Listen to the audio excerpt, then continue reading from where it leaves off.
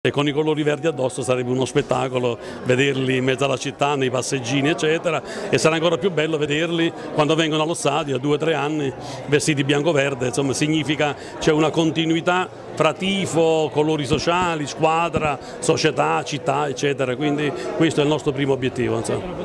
Sull'azienda Givova che ha scelto quest'anno, tra l'altro facendo anche un ulteriore sacrificio rescindendo prima con Leggero.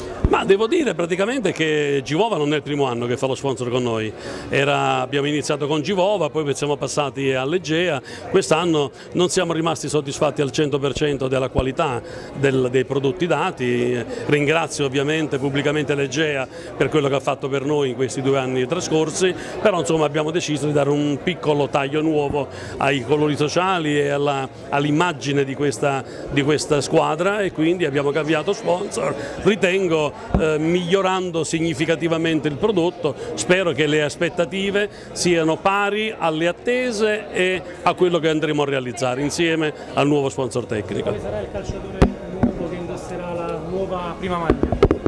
Non ve lo posso dire, potrebbe essere una sorpresa oggi, potrebbe essere, non lo so, vediamo. Grazie. grazie.